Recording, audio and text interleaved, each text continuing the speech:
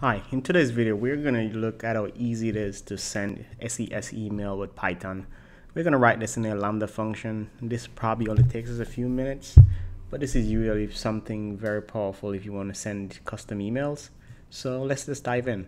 So we're going to start by creating a Lambda function. So let me just, for Lambda. And we're going to create a new function. I'm going to call this function ses email and I'm going to change it from Node.js to Python. And I'll just go with Python 3.8. For the permission, we're going to leave the custom role. So this will create a role with the basic permissions and then we'll add a few more permission that we'll need. And let's go ahead and create function. And that should take probably just a minute, so give it some time.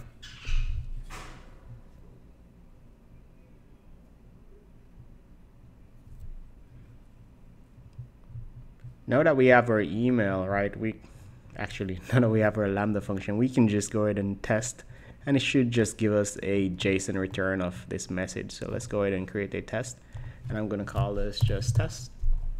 And pretty much when you test a function, you just want to send something to as the event. And this is a JSON data, so let's go ahead and hit save.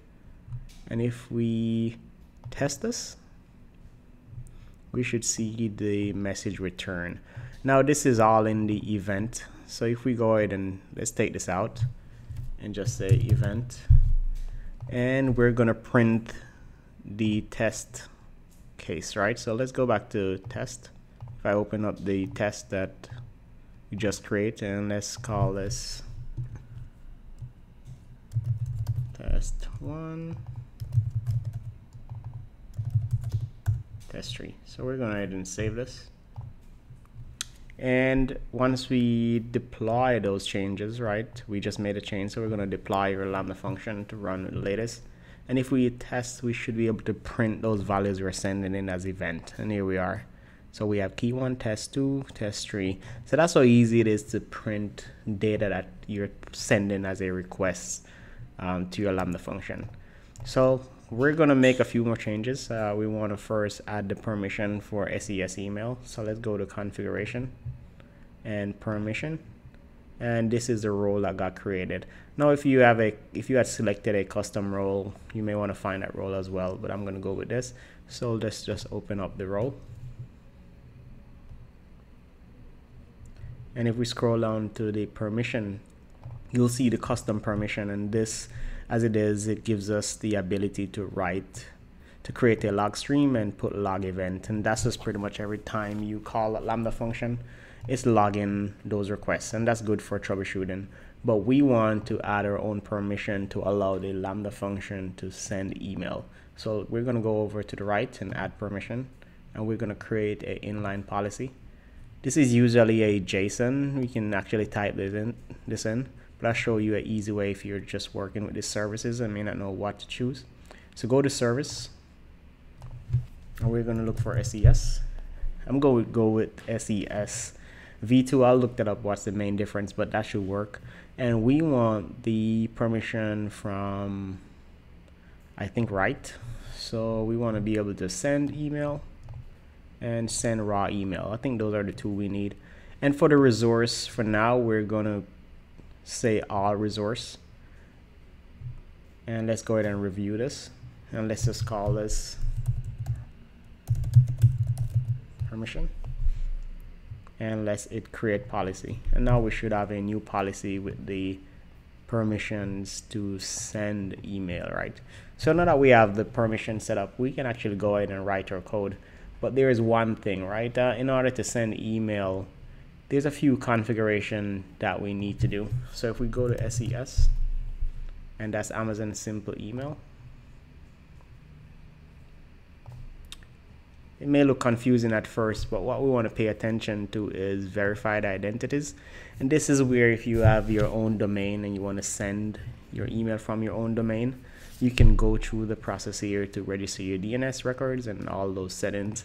In our case, to, since this is very, we're keeping this very simple, we would just want to be able to send from a specific email. So I'm going to create an identity and this will be an email. Of course, if you want to go through the process of setting up a domain, it's fairly simple once you have access to that domain and you can confirm ownership. But so you want to enter a valid email here that you have access to. I'm just going to use my personal email. And we're going to leave the configuration set blank. So configuration set allows you to track email activity if you want to look at if you have bounce email, rejects, and stuff like that. Maybe in another video I can look at that. For now, we're just going to put a email we want to be able to send email from. And let's create this identity. And it should have sent us a email allow asking us to confirm ownership, right? So here we see verification pending. So if I go over to my Gmail, I should see an email right here. So let's open this up and I'm just gonna hit that link and congratulations, your email has been verified. So if I close this and go back to SES, if I should refresh this, I should now see email identity verified, which is pretty good. So that means now we can actually send email from this address, right? So if you want to add multiple address, you want to follow the process, or if you want to go through and set up your domain. So let's go ahead and go back to Lambda. I guess I closed it. Let me search for my Lambda function.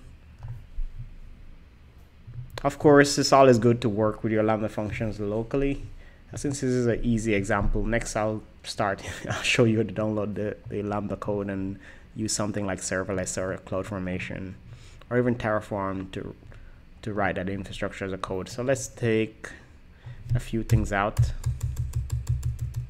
and we're gonna start from scratch. So first things first, right, we want to import the Boto library. And that's a library that gives us access to AWS resources. And we're going to create a client. And let's go into Boto3 client. And the client we want to have access to is SES. And our region US East that one now how do I know my region if, if I go up to the upper right and click down I'm currently running from US Virginia East 1 so you want to put your appropriate region there. So now we have a client that's pointing to SES so we can access some of those properties. So let's go ahead and set up a email response. And this will be your SES client. And we're going to send email and now we can go ahead and start typing in the specific destination and the message. So first we want to put in the destination. Hopefully I'm spelling that right. Right? Destination. And that will be the email address we want to send to. And that will be a to address. And of course, this will be pretty identical. This could be a list of addresses. So we want to put that in as an array. And let me send it to my test email address that's already verified. And if you have multiple address, of course, you can continue that comment and add those lists. I'm just going to use one for now. And the next thing we need is the actual message. So let's go ahead and type that in. We need a message body. and let's send the data and this is is my first yes, email. And once we have that the next thing think of all the things you need for email right? We have the destination the message body and we need a subject.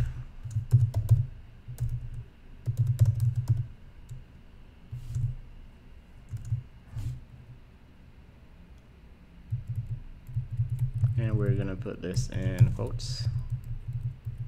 It should be in the identical indentation. So let's again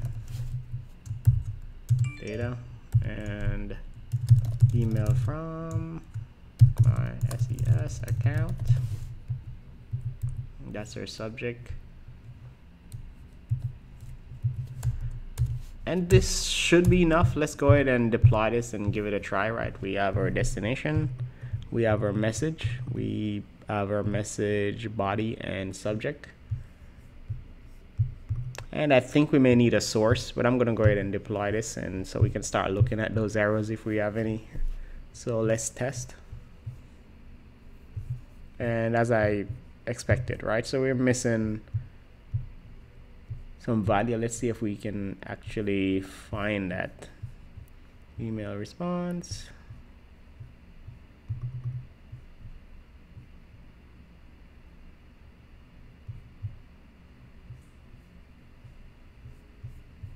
Let's go back. And let's add our source and that will be the address we're sending from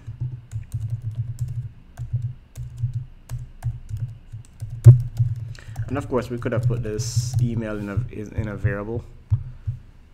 So we'll clean this up a bit.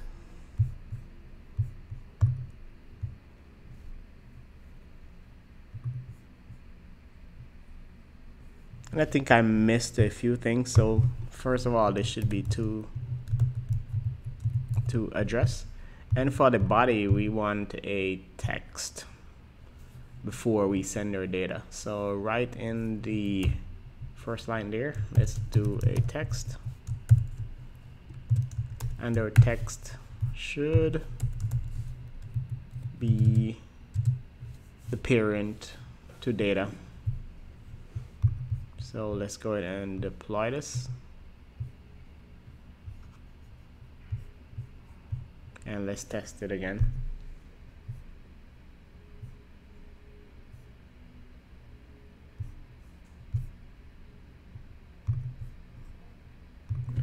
two addresses since we're sending to multiple address.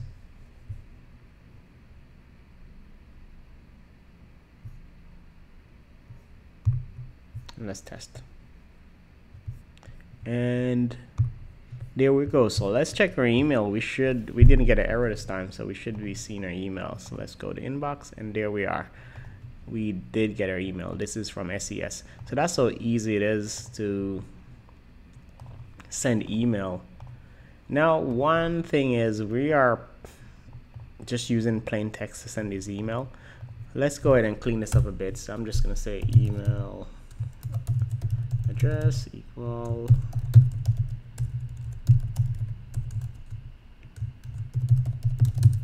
and so we can pass this variable in to avoid any any arrow so that's one step. Another thing we can do is actually structure this email as a HTML. And that's probably a lot more flexible because then you can actually customize different UX element for the email address you're sending. And that's pretty simple. So let's do that in our next video.